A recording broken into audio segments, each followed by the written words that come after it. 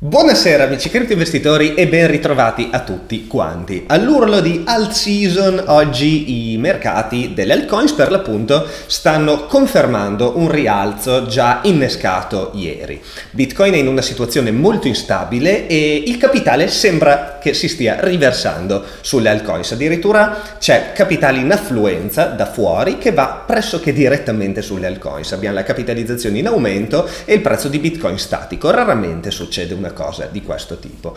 Prima di farsi prendere dalla smania, però, è importante analizzare con fermezza la situazione e soprattutto pianificarla, perché altrimenti queste sono quelle classiche situazioni dove l'emotività prende il sopravvento, l'avidità soprattutto che ci spinge ad aprire posizioni e poi se non dovesse andare come previsto, cosa che può tranquillamente succedere, allora ci facciamo prendere dalla paura e va a finire che perdiamo soldi, quello è poco ma sicuro. Quindi oggi facciamo una piccola ricapitolazione su una strategia di approccio al mercato delle altcoins in queste situazioni che già vi ho descritto in un altro video, magari la riprendiamo un attimino. Infine analizziamo possibili proiezioni di capitale proprio sulle altcoins, nel senso quali potrebbero essere gli step di un eventuale ciclo rialzista delle altcoins? Come si confermerebbe? Soprattutto quali aumenti proietterebbe su di esse in base a una stima semplicemente del capitale che si potrebbe muovere? E infine andiamo ad esaminare alcune altcoins che io sto seguendo personalmente sulle quali ho intenzione di aprire posizioni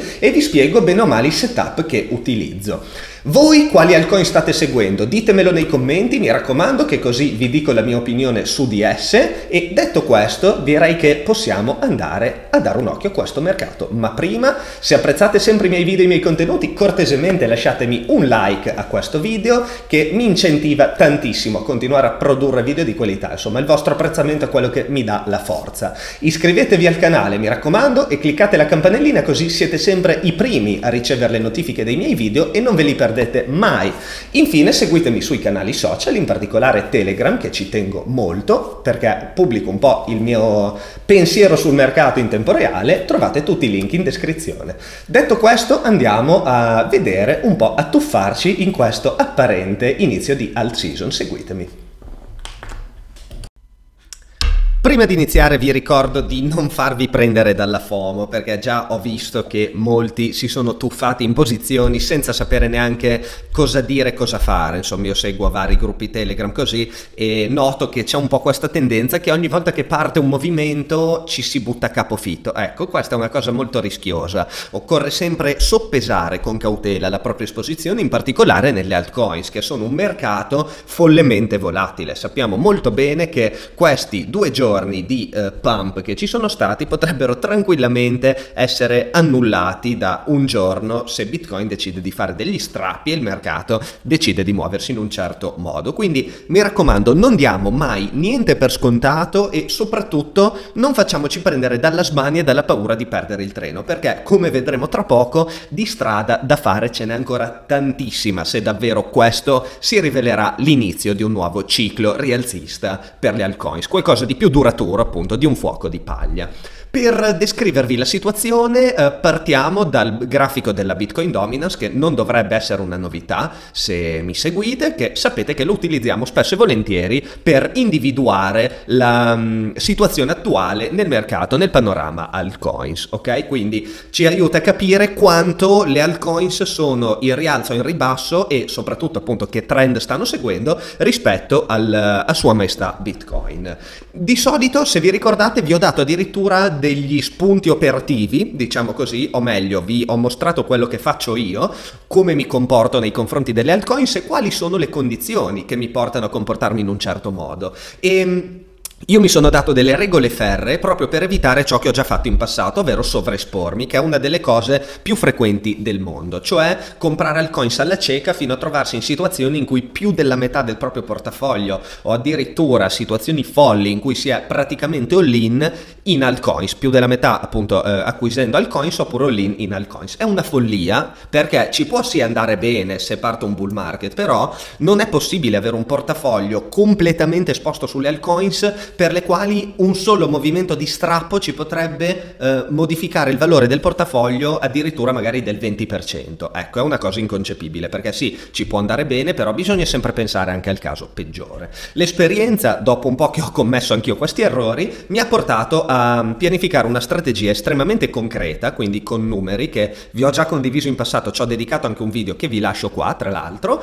dove ehm, certe condizioni mi portano ad avere un'esposizione di una certa ampiezza sulle altcoins complessiva. Questa esposizione comunque rimane sempre ridotta perché anche nella migliore delle ipotesi non supera mai una cifra che va tra il 6 e il 10% circa del mio portafoglio speculativo, ok? Questo quindi si parla di operazioni speculative, di trades speculativi. Le condizioni semplicemente, cioè sono veramente semplici, prendono in considerazione le due medie mobili esponenziali 9-30 giorni e la prima condizione è una chiusura del prezzo sotto la EMA 30, ok? La media mobile a 30 giorni.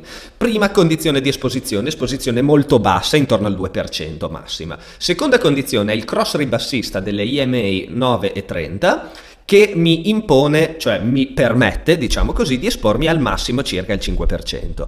Ultima condizione è il cross ribassista della, del prezzo dalla EMA 100, 100. Questo mi aumenta leggermente ancora l'esposizione e infine il cross ribassista della EMA 30 con la EMA 100 che è un ulteriore step nell'esposizione. Ovviamente questi sono numeri che eh, decido io, cioè valgono per me e per voi possono essere diversi, ognuno deve avere il suo piano. L'importante è non andare alla cieca, ovvero vedere che c'è un, giorno, un giorno, due giorni dove ci sono i pump delle altcoins e allora comprare altcoins alla cieca e rimanere con più della metà del portafoglio in altcoins che poi appunto se domani ci becchiamo un altro bello spike al rialzo, pam, della dominance che mi annulla completamente ciò che è accaduto oggi e ieri, vediamo il nostro portafoglio dilaniato in un attimo.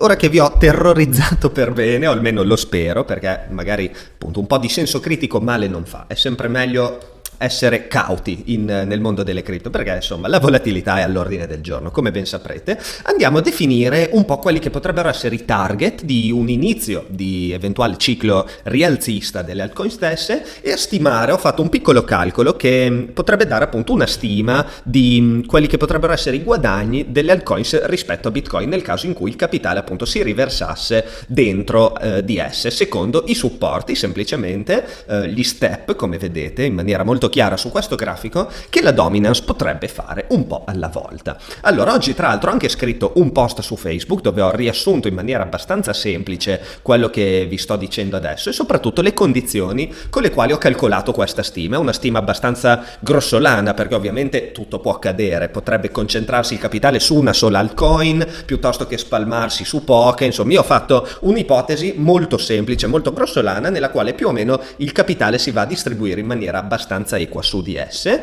per appunto evitare casi particolari e ho considerato la capitalizzazione delle top 150 anche perché ovviamente se, no, se andiamo a prendere le capitalizzazioni della coin numero 1000 capite che basta un micro capitale che arriva da bitcoin che fa un pump fuori di testa. Quindi Partendo da questi presupposti andiamo a fare una stima di quali potrebbero essere i gain delle varie coin da un supporto all'altro. Come vedete è molto semplice, basta fare un po' di analisi tecnica sulla dominance. Avevamo anche individuato questo pattern di top dopo la decelerazione dell'uptrend, chi mi segue su Telegram sa perché abbiamo fatto analisi proprio step by step e una volta che abbiamo visto questo breakdown, questo breakdown e soprattutto il, i, i due segnali che vi ho detto prima delle medie mobili abbiamo detto bene è l'ora di iniziare a fare fare la caccia a qualche posizione. Mi raccomando, non chiudete il video prima della fine perché alla fine andiamo a vedere un, es- un paio di esempi di posizioni che si possono prendere sulle altcoins in maniera ragionata e non impulsiva. Allora, purtroppo io avevo scritto bene tutto su TradingView, ma poi mi ha cancellato il setup, quindi io riprendo, perdonatemi, la, lo screenshot che ho fatto oggi e vedete, allora abbiamo il, beh, il primo step che l'abbiamo già raggiunto in verità, ovvero questo primo supporto, questo massimo precedente. Secondo step, breakdown da qua e andare al target dei 66,5% circa. Abbiamo un meno 5% all'incirca, ecco qua in realtà ho preso un livello un po' più basso perché sono andato a toccare il, il, la base, però la base scusate del picco precedente, però non cambia molto il discorso, abbiamo un meno 4%, meno 3,8, insomma meno 4,90, non c'è grossissima differenza, la stima fatta è che il, le altcoins se il capitale si riversasse in esse in questa misura guadagnerebbero dal più 30 al più 100% su Bitcoin nella top 150, quindi più 30 30% quelle più capitalizzate, chiaramente più 100% quelle un po' più piccole, sotto le ipotesi, infatti vedete che è un range molto conservativo. Secondo step, rottura anche di questo eh, supporto e passaggio a quello super, eh, inferiore. Altro salto più o meno del 4% in basso della dominance che arriva all'incirca al 63 e abbiamo stavolta complessivamente, eh, non da qui a qui ma sempre da qui a qui, un range che va da più 80 a più 200% su Bitcoin, sempre con la stima precedente. Ultimo step invece che è un po' più marcato perché il supporto eh, sottostante si trova al 5% in meno, quindi circa il 60% di dominance e abbiamo un pump che va dal più 120% al più 400% su Bitcoin. Chiaramente poi scherzosamente esattamente cosa ho scritto Moon, nel senso che se viene rotto il supporto del 60%, che è un supporto veramente importante, ecco che potrebbe esserci davvero una forte accelerazione. E mm, ovviamente non è che da un giorno all'altro abbiamo un breakdown dopo l'altro, perché ci saranno consolidamenti tra una fase e l'altra, suppongo perlomeno, però ecco questi bene o male sono eh, i checkpoint da tenere in considerazione per avere un'idea più o meno di quanto capitale si potrebbe muovere. Capite anche che siamo molto lontani lontani, guardate, dai vecchissimi bottom invece della Bitcoin Dominance, quindi ehm, appunto superato questo checkpoint chiave, diciamo così, ci fa capire anche che questa è una punta rispetto a tutto il movimento che è stato fatto, quindi c'è tutto da vedere, è inutile fare predizioni a lungo termine, bisogna seguire passo dopo passo il mercato. Ora veniamo al dunque, altcoins, quali sono in posizioni interessanti? Praticamente tutte, però ovviamente bisogna fare una selezione. La selezione si dovrebbe basare sui fondamentali e bene o male sull'impostazione tecnica del grafico. Io per prima ovviamente sceglierei Ethereum, che eh, se vi ricordate abbiamo seguito durante il suo breakdown, il breakdown è avvenuto e adesso guardate c'è questo segno di, di pump, insomma. Questo primo pump che ha bucato con moltissima forza quest'area di resistenza, guardate come ce la siamo mangiata, con volumi che mi piacciono, sono ben sopra la media e mm, soprattutto appunto eh, avendo un movimento che inizialmente ci poteva lasciare il dubbio se si trattasse dell'ennesima correzione del tipo A, B, C e poi prosecuzione ribassista. Adesso invece sembra proprio voler, vista l'entità di questa onda, essere un tipo 1, 2, 3, 4 e 5 e poi correzione.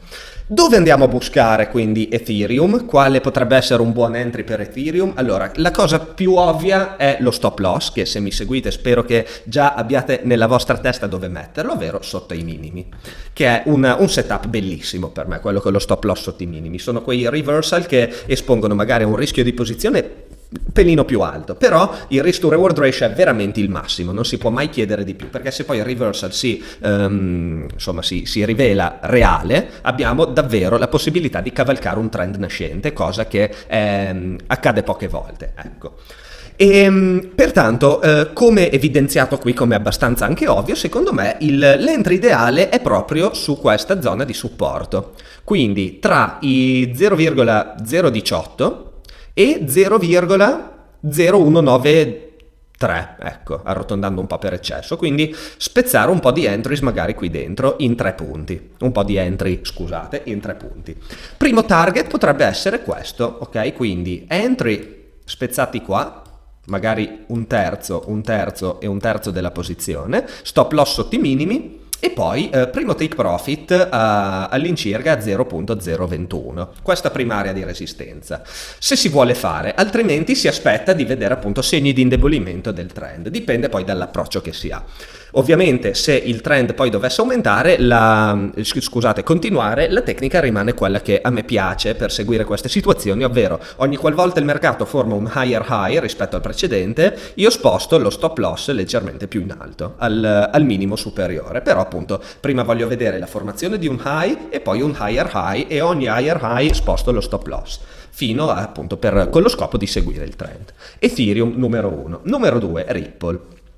Ripple, anche lui, ha una bella formazione in corso, leggermente diversa da Ethereum, perché ovviamente è un downtrend, anche lui bello marcato, e vedete ha bottomato, permettetemi il neologismo molto, molto cacofonico, però insomma si fa capire, in questo rettangolo che va da 2400 satoshi a 2750 circa. Poi abbiamo un breakout da questo rettangolo di potenziale bottom con volumi che mi piacciono, sono più o meno il triplo della media e abbiamo la rottura del minimo scorso, quindi abbiamo un po' di segni insomma di, di, di ripartenza. Ecco. Che si fa quindi in questi casi? Eh, potremmo ipotizzare sempre che questa sia una prima onda di un, ehm, una bella partenza.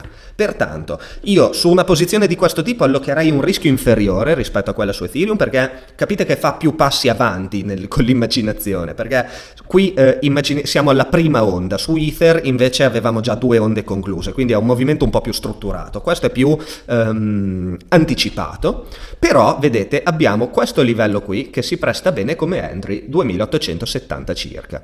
Quindi entry e poi ripartenza è l'ipotesi, chiaramente, stop loss sempre sotto i minimi. Strategia va bene come quella precedente, nel senso a trailing stop, ad ogni higher high io sposto lo stop al livello eh, successivo per seguire il trend.